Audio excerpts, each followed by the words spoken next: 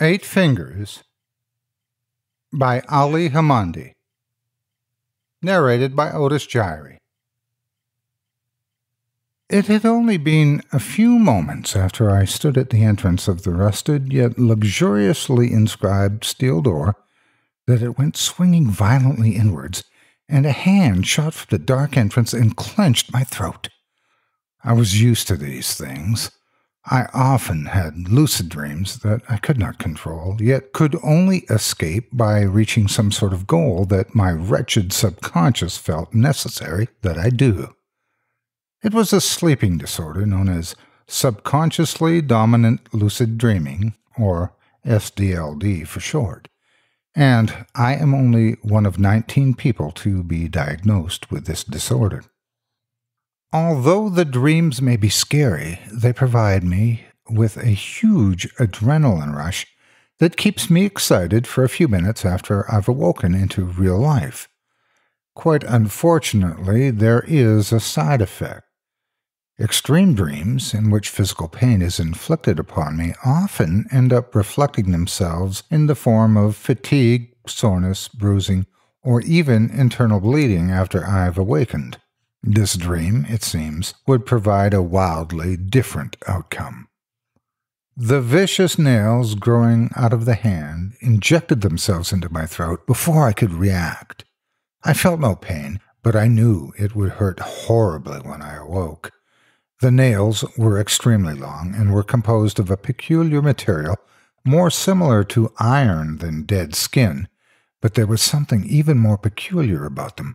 There were eight nails that had dug themselves into my throat, but there was only one hand. As one would expect, the enormous amount of blood that had been spewed out of my neck plastered my face red and impaired my vision temporarily. This gave the person, or thing, behind this attack an opening to deliver a punch to my stomach, sending me yards away from the door and the giant labyrinth it held the entrance to. Having landed on my back, I decided to remain where I was for some time.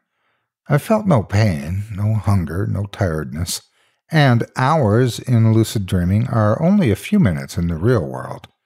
It might as well have been my ideal life with the exception of that thing. After deciding it was about time for me to get out of there, I stood up and began making my way back to the entrance.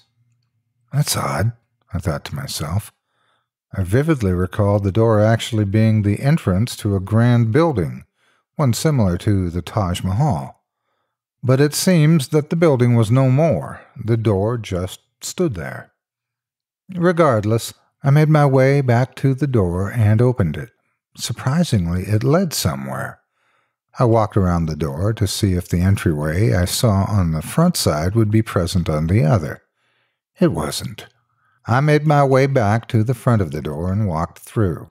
The environment had completely changed, as if I had stepped through a portal. What once was an endless white plain with white skies now changed to a dismantled realm. The sky was a bizarre purple, and there was no floor. There were only platforms made of stone that were suspended in midair, and I was on one of them. Separated only by a few feet, I jumped over to the nearest stone platform. This one was much larger and wasn't completely flat. It was also void of any structure or remarkable features, so I made my way to the next one. The next platform, to my surprise, wasn't made out of stone. It looked like stone, but felt like a very soft mattress. My feet sunk into the platform as I landed, and I lost my footing. Now, unbalanced and at the edge of the platform, I saw something out of the corner of my left eye a large, shadowy figure quickly heading towards me. Before I had a chance to react, I was punched by the same eight fingered creature and was sent flying off the platform and into the abyss. I thought it was the abyss, at least. A few seconds later, I smashed into the ground, making a sickening thud as I landed. Oh, thank God I can't feel things in here, I thought. Although I knew my entire backside would be bruised when I woke up, now I found myself standing in a hallway, with the exception of a roof, of course. The walls on either side uh, glowed a dim white and were roughly double my height. With nowhere else to go, I began trudging forward. As I rounded the end of the hallway, it became apparent to me that this wasn't a hallway, but a maze. From where I stood, there was a pathway to the back of, left, and right of me. I decided to take a right. The pathway I took later diverged into two other pathways, one to the left and the other slightly ahead of the right. I took another right. This new pathway was a dead end, so I made my way back to the earlier pathway and took a left. After spending a few hours doing more turn making, I eventually made it to a dead end with blood splatter on the walls. Trippy, I thought. I made sure I didn't double back, and there was a large pool of blood where I would have landed had this been where I started. Assuming this was where I started, I walked back to where the pathway had originally split to the left and right. Having taken the right last time, I decided to take a left. Surprisingly, this pathway didn't have any other pathways protruding from it. It simply seemed to keep me going in a straight path. Eventually, after walking for about five minutes or so, the pathway began curving in a zigzag fashion and heading upwards, unlike the rest of the labyrinth I've seen, which mostly consisted of right angles and level pathways. Now I'm getting somewhere. Besides this anomaly, my journey on this pathway was uneventful. However, I eventually reached a well like structure suspended in midair. It seemed this was a dead end, too, I was disappointed because that meant I'd have to walk all the way back and try my luck with the right pathway again. Although I have no physical feelings while dreaming, I decided I'd rest here for a while. I thought I could take in the atmosphere that my mind had so masterfully created, and so I sat against the well and looked at no place in particular. Oddly, I began sensing heat being emitted from the well and onto my back. This was the first time I had such a feeling in a lucid dream, so I quickly stood up and examined the inside of the well. What I once thought was normal water was now glowing a bright yellow, and vapor seemed to be rising from it. I was afraid to put my hand in there. If I could feel the heat from outside the well, how bad would my hand burn if I were to feel the water? But before I could make up my mind on whether or not I should take the risk, a hand rose from the well, grasping my neck with such ferocity I was sure it was the same figure that attacked me at the beginning of the dream. This time, though, it was worse. I actually felt the pain, and it was like nothing I've ever felt before.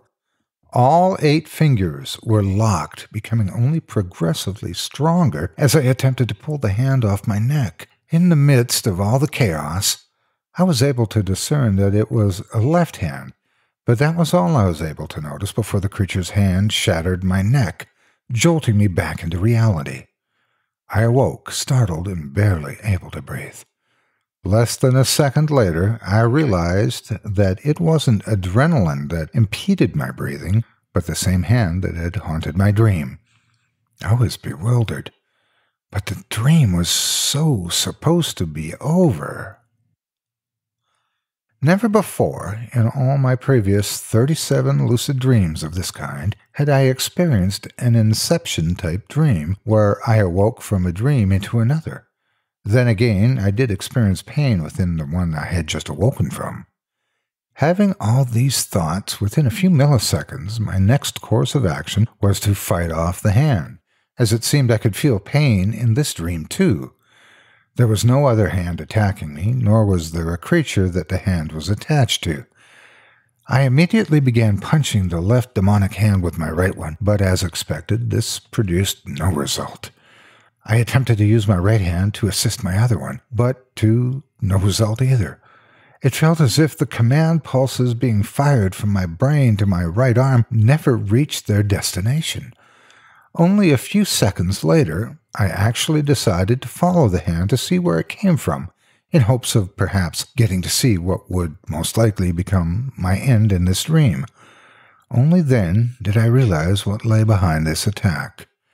It was my very own left arm, but now in the same inhuman form, with the same eight fingers that had attacked me in my previous dream. I was struck with a rush of adrenaline and fear I've never felt, a rush strong enough to fully drown out my pain. It was a good thing the adrenaline did so, because I did not want to experience the pain of my neck being shattered again, as my out of control fist squeezed with all its might. Unfortunately, this time, there was no dream for me to wake up from.